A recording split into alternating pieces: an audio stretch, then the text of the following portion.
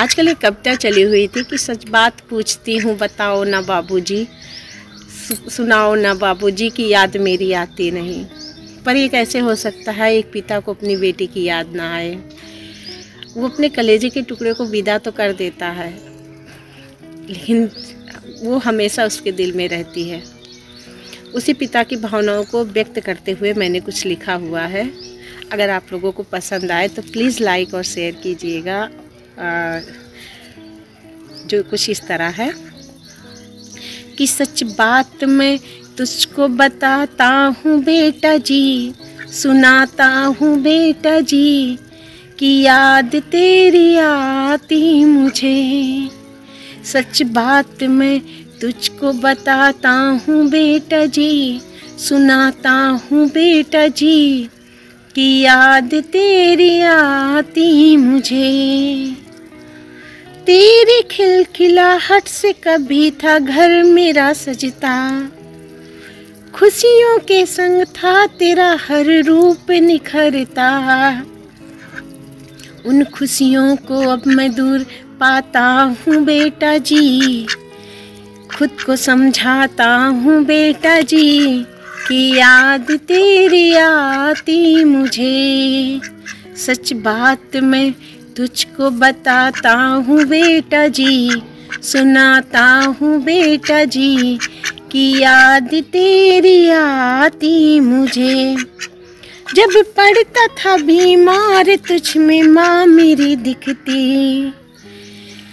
कभी प्यार, कभी डांट से तू ख्याल थी रखती। अब कौन लाड लगाएगा बेटा जी? प्यार दिखाएगा बेटा जी कि याद तेरी आती मुझे। सच बात मैं तुझको बताता हूँ बेटा जी, सुनाता हूँ बेटा जी कि याद तेरी आती मुझे। थक हार कर जब कभी मैं ऑफ़िस से था आता का वो गिलास तेरे हाथ से था पाता एक तेरी मुस्कान पे सब भूल जाता था बेटा जी।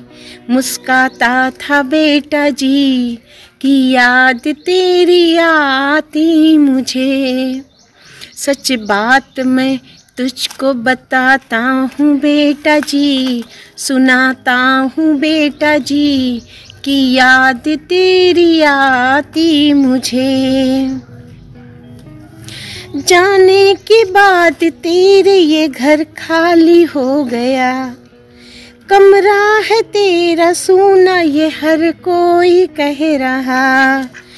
तकिए को तेरे गले लगा के रोता हूँ बेटा जी कभी हंसता हूँ बेटा जी, कि याद तेरी आती मुझे। सच बात मैं तुझको बताता हूँ बेटा जी, सुनाता हूँ बेटा जी, कि याद तेरी आती मुझे। सुबह उठकर तेरे हाथ की वो चाय की प्याली गुस्सा अगर हो जाती थी कभी मेरी घरवाली। तेरा मुझको फिर वो चिढ़ाना, बेटा जी, समझाना, बेटा जी, कि याद तेरी आती मुझे। सच बात मैं तुझको बताता हूँ, बेटा जी, सुनाता हूँ, बेटा जी कि याद में तेरी आती मुझे। थैंक यू अगर आप लोगों को पसंद आए तो प्लीज़ लाइक कीजिएगा और प्लीज़ मेरी आवाज़ पे मत जाइएगा, मेरी राग पे मत जाइएगा, मेरी कविता पे ध्यान दीजिएगा, क्योंकि इस समय मेरी तबीयत नहीं सही है तो गला मेरा रूधा हुआ है। Thank you